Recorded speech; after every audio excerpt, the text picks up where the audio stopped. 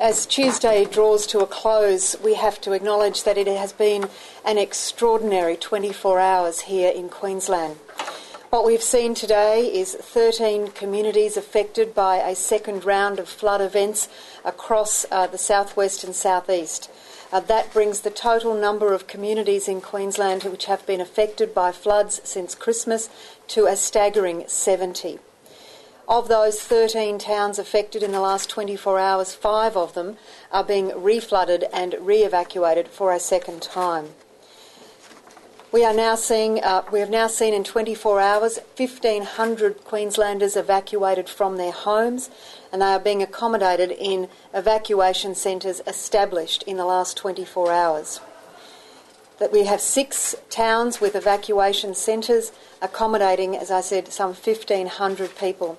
We expect that number to swell throughout the night as uh, Ipswich braces for a high, uh, high peak in the river of uh, close to 19 metres around midnight and swelling to some 22 metres tomorrow. So 1,500 people out of their homes, many more to follow them through the evening tonight.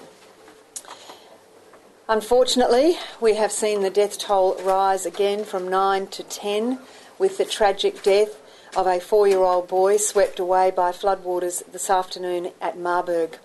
Uh, the best advice we have at this stage is that this boy's life was lost uh, during a, an attempt to rescue him and his family.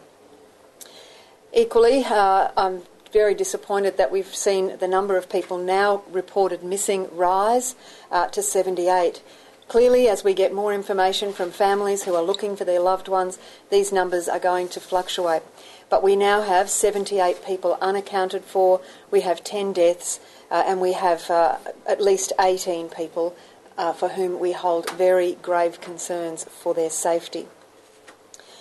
These experiences in the last 24 hours uh, have seen uh, many people either experience themselves or witness uh, horrible trauma uh, we now have eight five person grief and counselling teams ready and assembled for deployment in Toowoomba and Lockyer Valley tomorrow, tomorrow as soon as weather permits. We understand that people have, in many instances, not only been through traumatic uh, experiences themselves, but they are in evacuation centres anxiously awaiting news of a loved one who remains missing. I wanted to reassure, particularly the people of Ipswich and Brisbane this evening, uh, that we have every available resource deployed to assist them over the next uh, couple of days in what we expect to be a very serious event. Our police, our fire and rescue, our emergency services have all temporarily ceased all non essential duties and deployed people directly onto the front line. Major non government organisations who are critical to this effort, such as the Red Cross, who are setting up the evacuation centres, have also cancelled all standard activities such as first aid courses and the like and deployed all of their staff to the front line of managing this incident. We know that we've seen Queenslanders uh, in dire and awful circumstances throughout the last 24 hours. We know that over the next couple of days, Many of us are going to be in frightening circumstances. Our emergency services personnel are ready to assist, but they need our cooperation. They need us to pull together as a community and they need us to follow their directions. Please make sure you are getting good advice about your suburb. Please make sure you're listening to all media bulletins. Please make sure that you are not out and about on the roads if you do not need to be. If we're all sensible, if we're all calm, and if we all uh, pull together, then I am absolutely confident that we are uh, here in Ipswich and Brisbane absolutely up to the challenge that we will face in the next couple of days. We have also seen the effort joined by many uh, volunteers and from New Zealand, including New Zealand uh, volunteers from the Red Cross. Uh, there are continuing circumstances unfolding this evening, uh, and we will endeavour to make sure that we can keep you up to date as much as possible. I might invite uh, Ian Stewart to make any further comments. Uh, thank you, Premier, and good evening, everyone. Uh, obviously, uh, we're preparing now for the next 24 hours, the next phase of this uh, continuing operation. Uh, we're focused in two different areas, and that is to plan and prepare for what is coming uh, with the flood peaks to Ipswich and ultimately into Brisbane itself. But at the same time, we're also preparing tomorrow to get our police and emergency service personnel, particularly our specialist USAR staff, the urban search and rescue, and other other skilled operatives into the Lockyer Valley communities, uh, particularly Grantham and in the Murphy's Creek area, to uh, start the very gruesome task of having to uh, search for what we believe will be a number of bodies. Um, that will be a difficult time for our people, and I would plead with the public if you do not need to be in that area, keep away.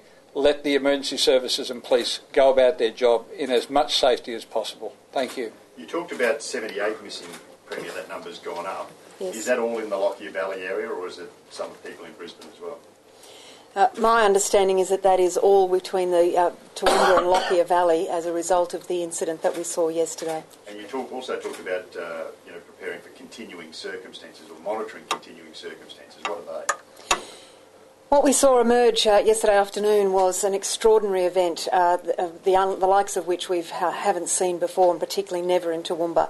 So uh, all I'm saying is we're now monitoring the weather overnight. We've got people, hydrologists will be working through the night tonight, modelling and remodelling what they're seeing in river systems coming into the Wivenhoe area. Uh, so all of the data that we've been advising people will be continually re- uh, refined so that we can continue to give you updates uh, throughout tomorrow.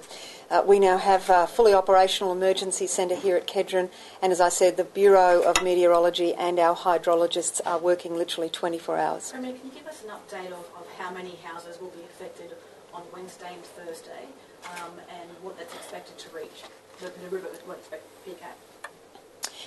Uh, in terms of uh, some level of precision, the hydrologists are indicating that they are now reasonably, with a high degree of confidence, believe that the Bremer River in Ipswich will reach 22 metres tomorrow. Uh, that is more than one and a half metres higher than the 1974 flood in Ipswich. The 1974 flood saw 1,800 homes significantly affected in Ipswich, so we can uh, confidently, uh, given Ipswich is now more populated, expect to see more.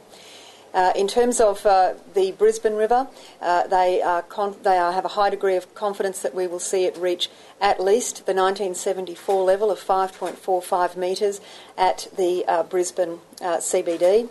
Uh, in terms of anything over that, they would like to wait for 24 hours out from the event to be any more precise than that but they believe that we need to be planning for an event at least as big as 1974 and to be cautious to plan for something bigger than that. Um, in terms of, um, you said earlier today that modelling had been done in relation to what the Toowoomba flood, what kind of impact would have on Brisbane. Can you paint a picture yet of what actually that might look like for us? To get a sense of uh, the impact of the Toowoomba event, uh, the Lockyer River uh, coming comes into the Wivenhoe catchment. Uh, on any ordinary day, it would deliver uh, around, you know, when it was flowing normally, it would deliver about 500 uh, megalitres into that catchment. It is currently delivering about 2,500 megalitres. So that's certainly deliver, putting much more pressure onto uh, that system, and uh, we expect that it will have implications way down the downstream. But it's also been the very heavy rainfall that we've seen today that's contributed to this event. Uh, that has been, in fact, the main problem. The heavy rainfall into the catchment has seen all of those rivers and creeks and tributaries into already saturated ground.